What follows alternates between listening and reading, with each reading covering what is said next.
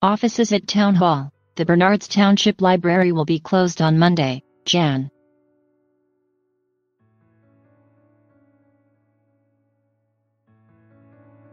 21. To recognize the federal holiday honoring civil rights leader Martin Luther King, Jr.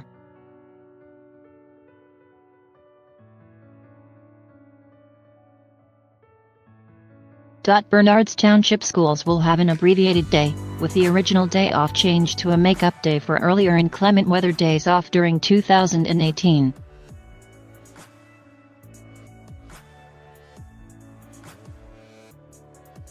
Municipal officials will be open on Friday, January 18th, and are due to reopen on Tuesday, Jan.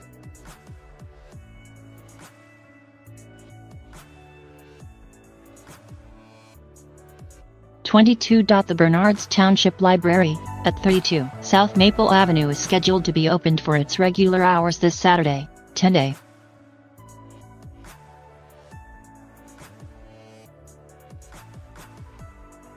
m to 5 p.m., and on Sunday, 1 to 4 p.m., and again on Tuesday 9.30 a.m. to 9 p.m.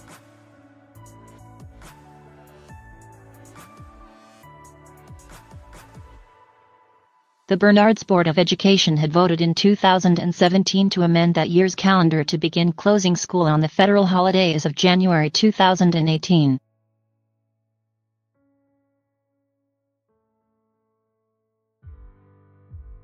The subject had been discussed multiple times in previous years, when schools had remained open, and some grades had discussed King in classrooms or in a special assembly on that day.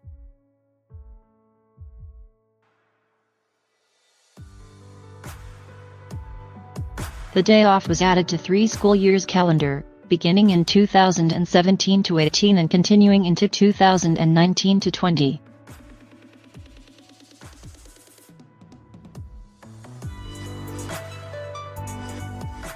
The school calendars for 2020-21 and 2021-22 have since been approved by the school board, and both include the Martin Luther King holiday as a day off from school.